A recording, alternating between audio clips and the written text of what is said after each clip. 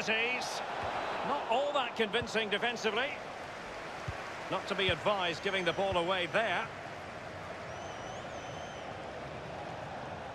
Giving it a try. Well, it was fired straight at the keeper. No real difficulties for him. No, decent positioning from the goalkeeper. Poor shot, to be honest with you. Mbappe.